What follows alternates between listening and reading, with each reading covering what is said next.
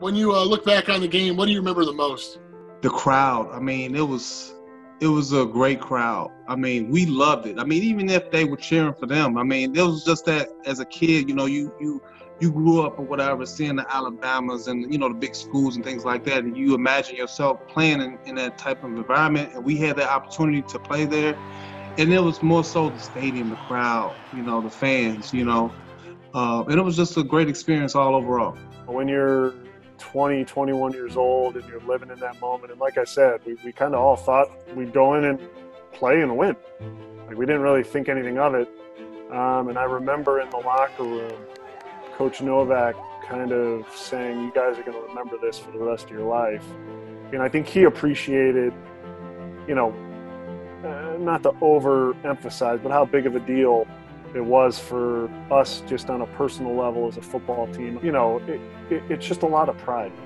It's just a lot of just satisfaction and, and what we accomplished as the team the group of guys we had on the field and going into a place like that and, and being able to play the way we did and, and come out as victors, it's something that Coach Novak's absolutely right. Um, nobody can ever take that away from us. I'll certainly never forget it. I got I got the scoreboard with the score mounted in my office on the wall that if, if folks make their way, you know, far enough in the office, it's a good discussion piece. So it's uh, it's one of a handful of awesome, not a handful, one of a ton of memories uh, in the 2003 season, but certainly it's it's closer at at the top from a just what it meant to all of us collectively. Doing it as a team, doing it the way we did, uh, it was just a lot of fun.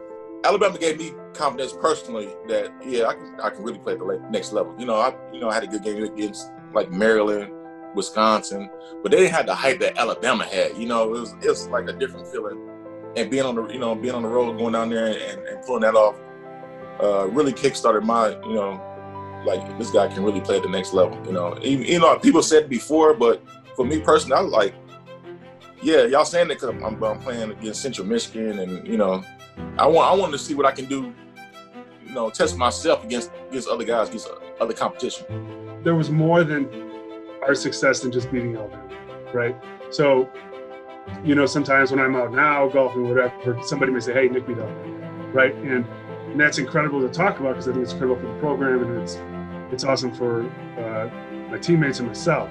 But what people are missing is there was so much, so there's there's something so much larger there, right? And if we hadn't run into injuries, we were doing something so special. And I think something so special would help turn that program around, and hopefully to kind of kickstart something that's become absolutely incredible. You know, it, it, it is special because the, the bond that you grow um, with your players uh, into, in relation to now sitting in a seat and being able to make sure they understand the importance of anything as possible. Um, and, and, that don't worry about your opponent. Your opponent is faceless. And that's something Coach Hammock brings to the table.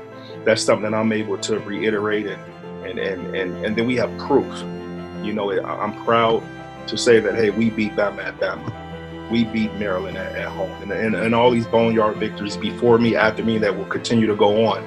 But we have living evidence. We have facts that no matter who you play, if you stay the course, trust the process, play for each other, and bring that husky strength, the power of the pack, that you can be victorious. And, and that's the message we send moving forward.